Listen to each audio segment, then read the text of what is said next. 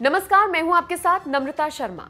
हमारे देश में ट्रेन का लेट होना आम बात है। एक से दो घंटा अगर ट्रेन लेट है तो कोई इसमें बड़ी बात नहीं है और इसे आम तरीके से हम लेते हैं। लेकिन एक देश ऐसा भी है जहाँ पर अगर ट्रेन सेकंड्स में भी लेट हो जाए तो फिर अधिकारी खुद स्टेशन पर खड़े होते हैं और माफ़ी मांग रहे होते हैं। दरअसल, ये देश कोई और सा नहीं, बल्कि जापान है।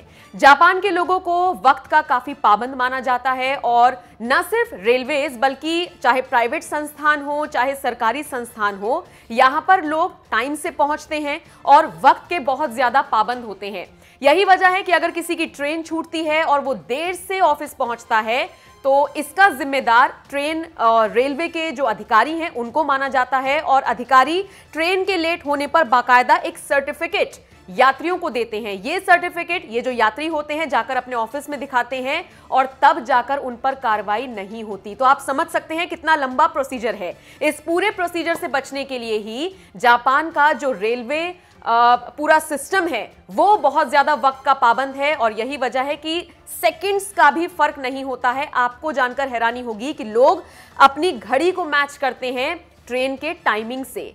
तो इसी से अंदाज़ा लगाया जा सकता है कि लोग वहाँ पर वक्त के कितने पाबंद हैं। अच्छा एक और दिलचस्प जानकारी मैं आपको दे दूँ। बताया जाता है कि जापान की बुलेट ट्रेन शिनकासेन इसका रिकॉर्ड है कि ये कभी भी 36 सेकंड से ज़्यादा लेट नहीं हुई। मतलब इससे ज़्यादा देरी इस ट्रेन को कभी नहीं हुई। और जब ये लेट हुई थी तो जो अधिकारी हैं, उन्होंने खुद स्टेशन पर पहुंचकर सभी से माफ़ी मांगी थी और उनको एक सर्टिफिकेट पकड़ाया था। ये जो सर्टिफिकेट है, इसकी पूरी जानकारी आपको www.japanallover.com वेबसाइट पर मिल जाएगी।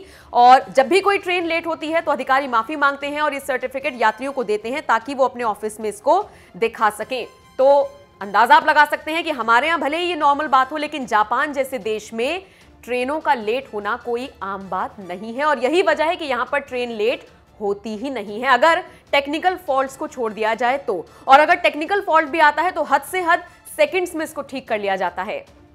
ये खबर आपको कैसी लगी? कमेंट करके हमें ज़रूर बताएँ।